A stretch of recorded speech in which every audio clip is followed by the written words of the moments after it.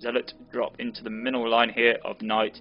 NighT got not got a lot to deal with back here. He's still got a few Marines and a few Marauders when they're slightly out of position. Oh, he's going for a sentry drop here. I'm liking this by Randy. He's going to be warping, uh, dropping these in, force fielding these SCVs into this area, and then just sapping them with their laser.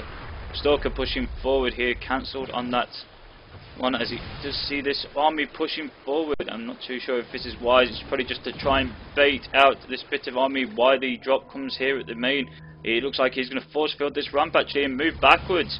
Nice play by uh, Randy coming high here. He's going to lose all his army at the front now. One more stock coming. SCVs are even being pulled coming to the fray. Zealots, nice force field here. Mm, Stalker's being warped in as well. And NighT in a lot of trouble back here. I mean, he's got this bit of army down at the front, but not a lot to deal with it. And with these force fields as well on the ramp, I don't think NighT will be able to do anything. Given Vision the high ground, he is able to get there, but the more force fields do go down, still has his warp prism up as well. So he's still able to warp in more Stalkers. SCVs are being pulled here. Another great force field going down by Randy and NighT in a lot of trouble. Another force field to cover it down. Medevac is down as well. And Randy looking in commanding position right now. Stimming to try and get up there and try and do much damage, but he can't. Supply is even out here. Even probes are being uh, trained. And there's a GG by NighT, and Randy takes it 2-0 and puts UK in the lead with 1 to nothing.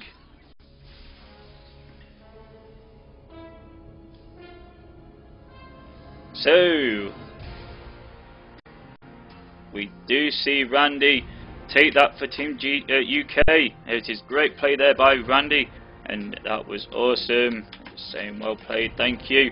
Next up will be...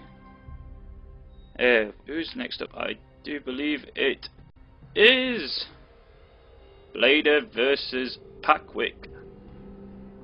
So, uh, just gonna sort this out and we'll be on our way. Uh,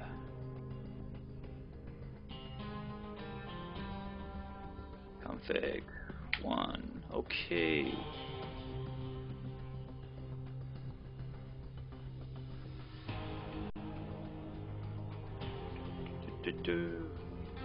There's got to be an easy way of doing this.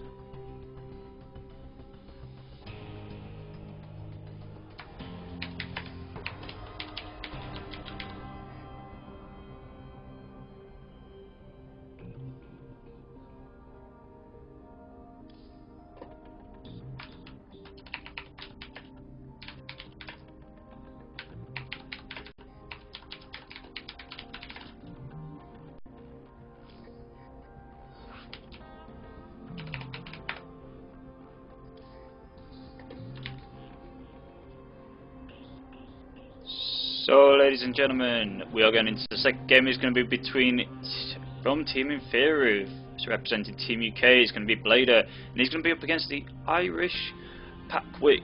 It's going to be on Terminus SE, and it's going to be a TVP. This time, the TV being UK. So, let's just update these scoreboards and get them sorted in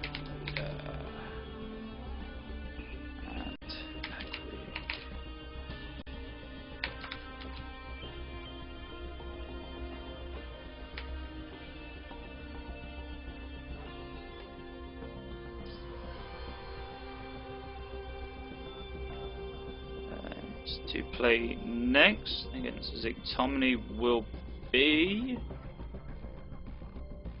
Where are you?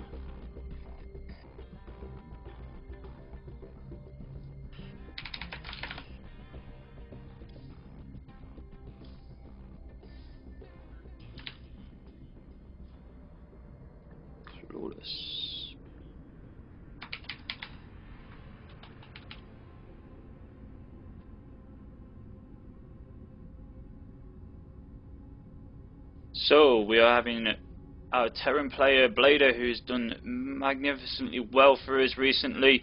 There's the GG's and let's get into this game. It is going to be on GSL Terminus SE. Blader versus Pat Patwick for Team UK. Team UK currently 1-0 ahead of Team Islands. Now let's get this on the go and see what is happening.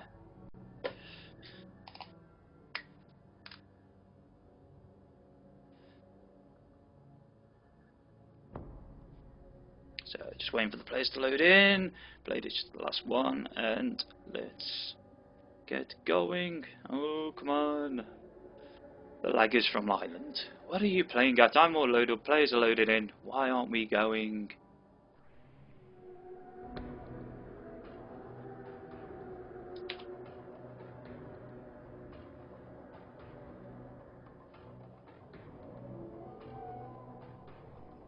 There we go.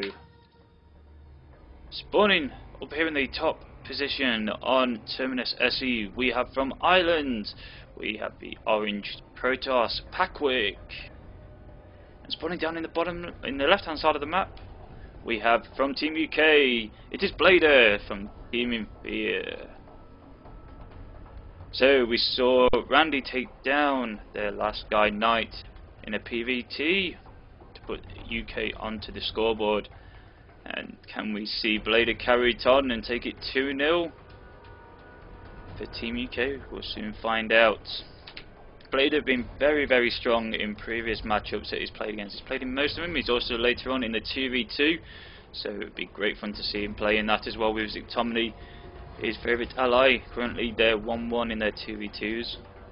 So it'll be interesting to see if they can carry it on. So no cheeky shenanigans going out on here. Very, very big map from this one. I mean, close air spawn positions as well, so easy for dropping for Blader into the third if it goes that far. We do have the rocks here on this map with the full set of mineral patches and two Vespene geysers. On some editions you can see five mineral patches with no rocks and just the one gas.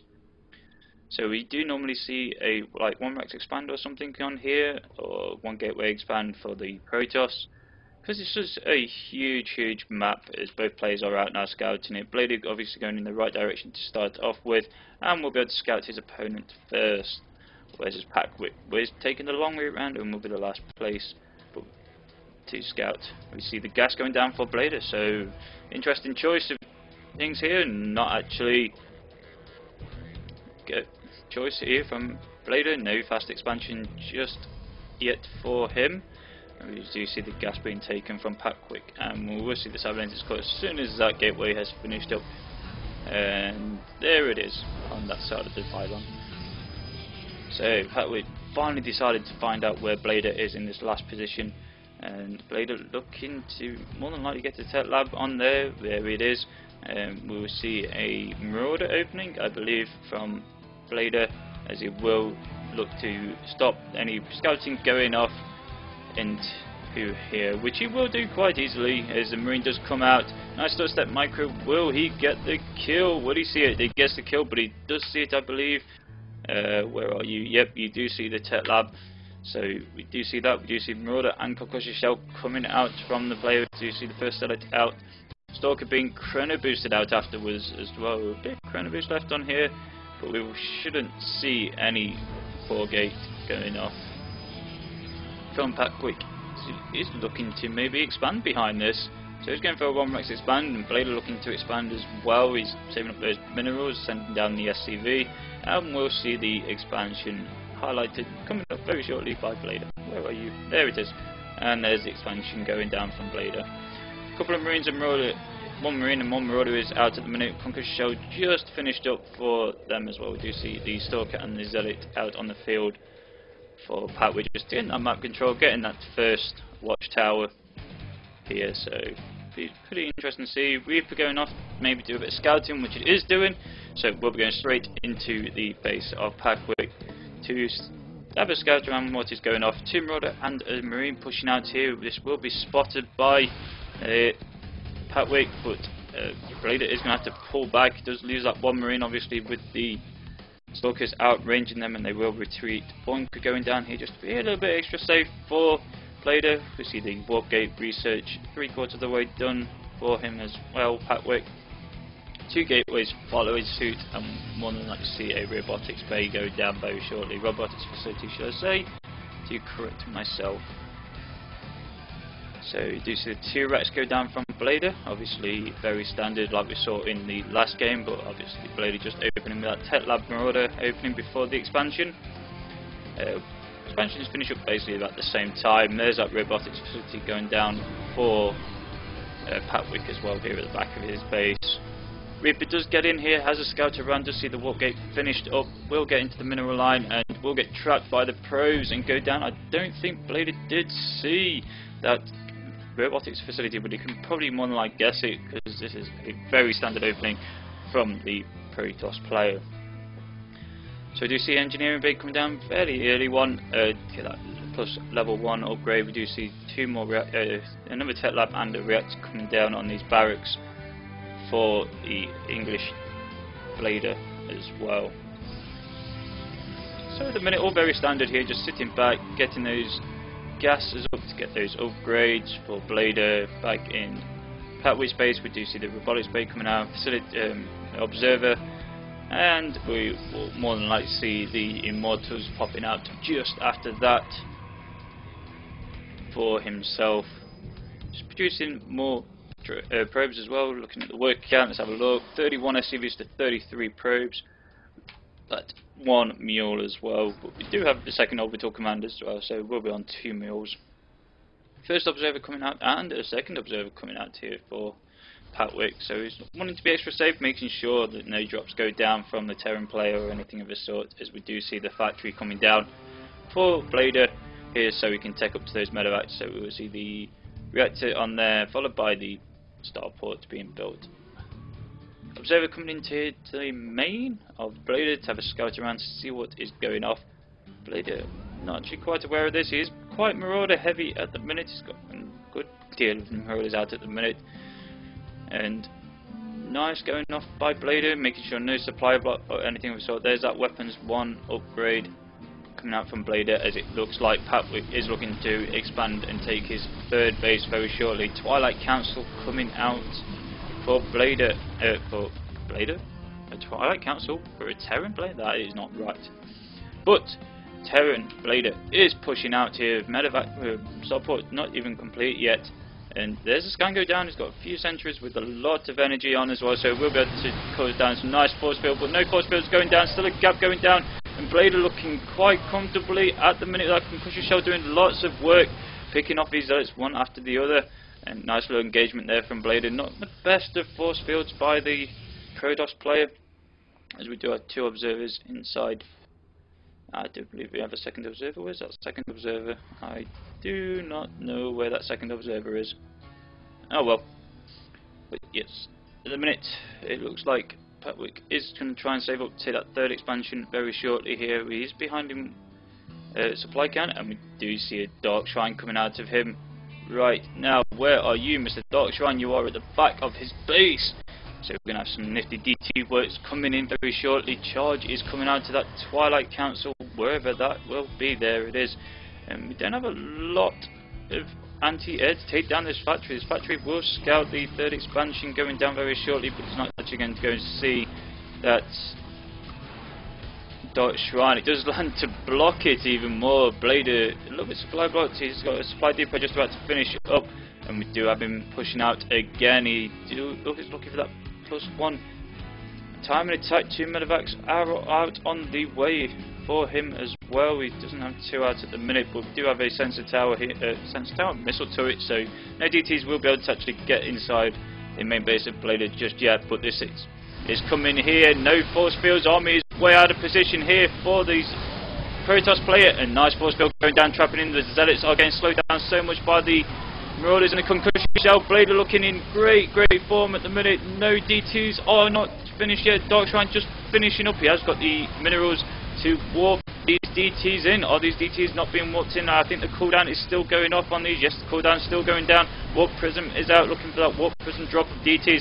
One DT being warped in right now. Does Blader have any? Yes, he does he has energy on both of his command centres so he can get a scan when this DT starts hacking away and you will be able to tell that very shortly. He's denied his third expansion as well. Gets the cancellation on that. Blader looking such great shape. 103 supplied to 34. DT slashing away as much as possible. Here, he doesn't actually realise it just yet. There goes the Warp Prism. Uh, no sentry at the top here for Blader. Blader can't actually figure out these DTs just yet. He needs to